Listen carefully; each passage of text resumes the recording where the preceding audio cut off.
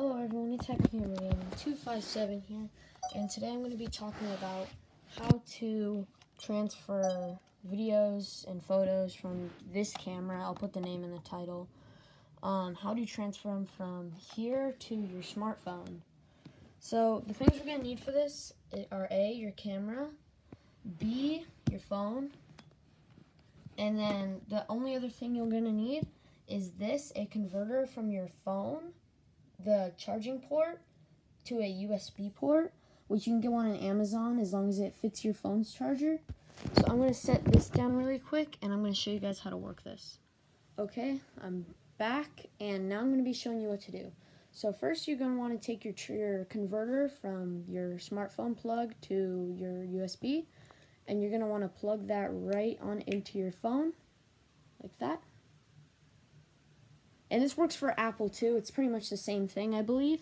If it's not, I'll try to figure out how to do it with Apple if you guys want. Just leave a comment down below. But as far as I'm concerned, this works for both phones. I searched it up, and I believe it does work. So what you want to do then is take your camera's port, the charging port for your camera, and what you want to do is plug it into the phone like that.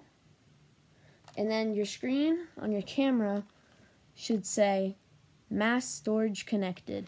Do not unplug, do not disconnect, do not turn off, etc. So what you want to do is go onto your phone. Okay, then it's going to show up where the tabs are. Right here. I don't know if you guys can see that or not. It's going to say something about a USB drive where your notifications are. Sony USB drive, tap here to transfer media files. What you want to do is click on that, and it should take you to this, where it's going to show a list of files, and what you're going to want to do is click on DCIM, and it's going to say 100 MSDCF. Click on that, and then you will, from there, you will have access to all of the pictures that you have stored on your camera. Hold on, let me try turning down my brightness so you guys can see.